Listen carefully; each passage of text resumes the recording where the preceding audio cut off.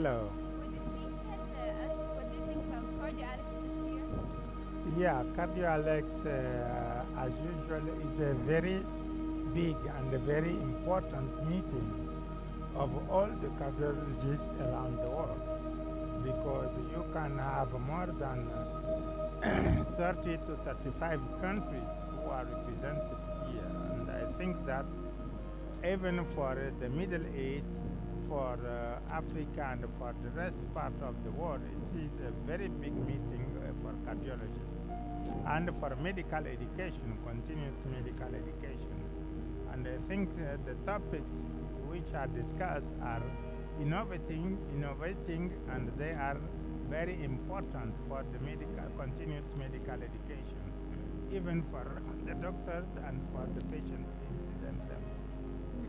Uh, please tell us about your sessions today?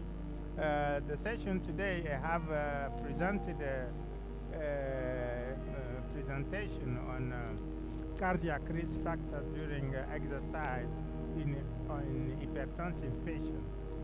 So we know that uh, a lot of people go for sports, but sometimes they did not go to check their health in the, in the cardiologist.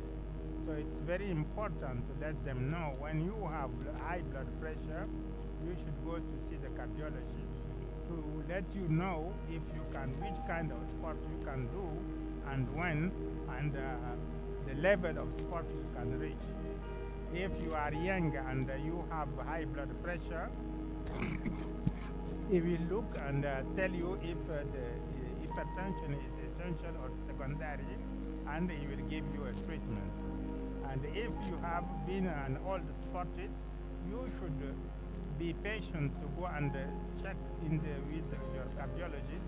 He will tell you what is your actual status, and uh, he will recommend you the kind of sport and the kind of effort you can do. Sport is very good for our populations, and sport is very, very important for all the patients and for even those who are not hypertensive to make prevention. But it should be adapted because sometimes there are some cardiac abnormalities which can increase the risk of cardiovascular death, particularly sudden, sudden death. You can see sometimes even for young sportists playing football or playing soccer or playing running, they can have they can have sudden death uh, during sport because they have some cardiac disease which has not been discovered before.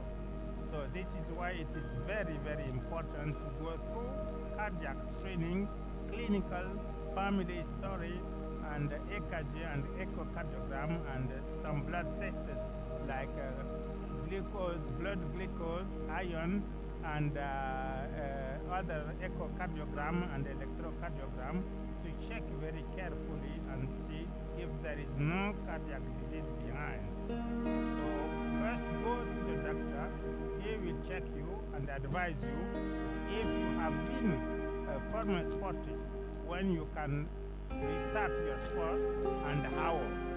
And uh, if there is something wrong with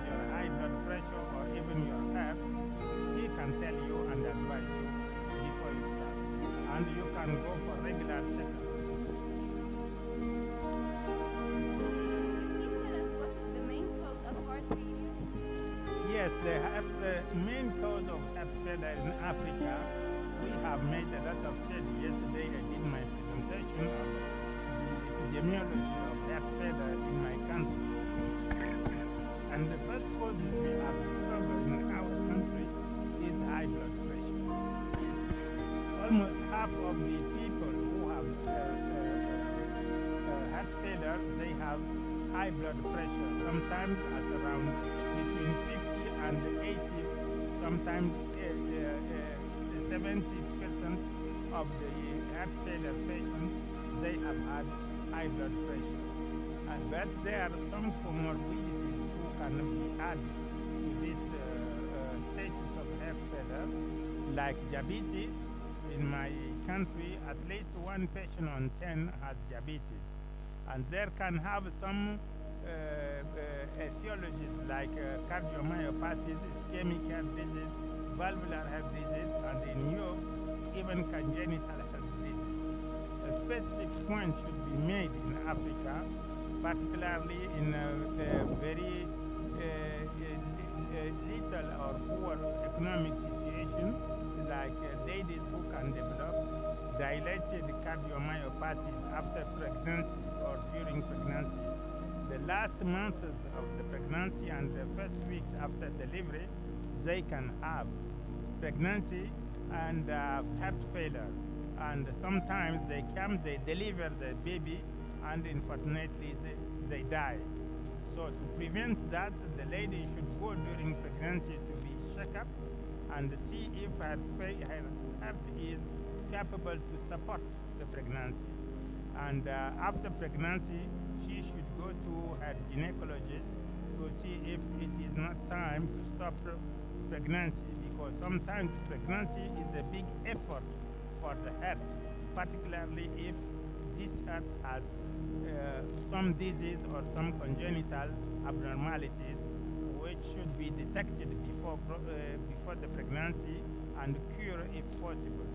After one or two pregnancy in that cases, it is recommended to go, to go for uh, uh, interruption of that pregnancies because uh, and prevention for pregnancy because sometimes too much pregnancies can make heart failure definitive and sometimes it can provoke the death of the mother.